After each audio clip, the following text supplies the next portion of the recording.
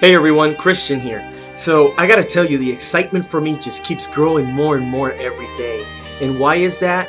It is because every day that goes by, I learn something new, some new ninja tricks, some new mastery stuff that that is just helping me grow in my business and grow as a person. So, which leads into what I want to talk to you about, and that's basically um, success in network marketing, right? A, a lot of people have the impression that even within network marketing that the people that are successful it's because they're lucky. You know they have some sort of fortune or luck is on their side you know that everything goes their way. And nothing could be further from the truth right? Basically how does a person become successful in network marketing? Well it starts with number one you making the decision that you want to be successful right? Once you set that mindset, right? You, you put it in your mind that you want to be successful, you start focusing more on what you want to do, right?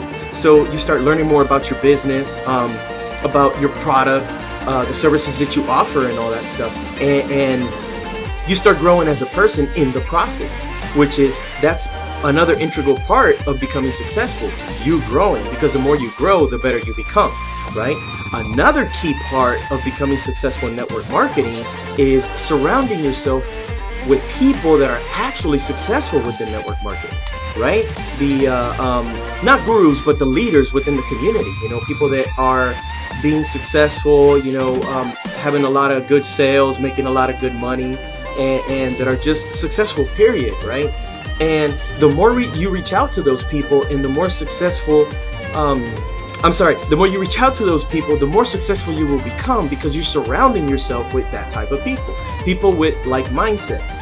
That makes you even better because you're learning from them. Every little tidbit that they give you, you're learning. That is why I'm so excited about what's happening with me because my mentor is teaching me new stuff every day that I, I see almost instantaneous instantaneous results within my business, right?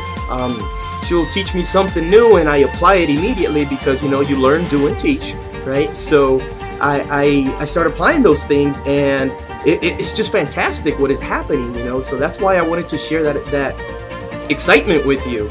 So you know the most important thing, like I said, connect with people that are successful within network marketing. You know, just because they're successful doesn't mean that they were lucky. Another thing to point out is you got to work hard.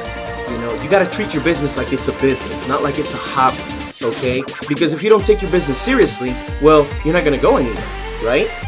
You're not gonna reach uh, um, the success level that you want because you're not taking your business seriously. It is yours. Take ownership of it, you know?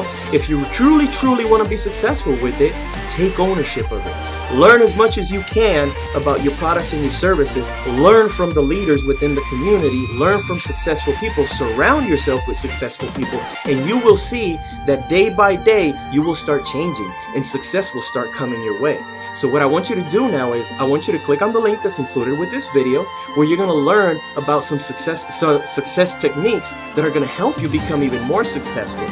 And then what I want you to do is I want you to join me and my team so that together we can travel the road to success and freedom and achieve the true success that you deserve. See you on the inside.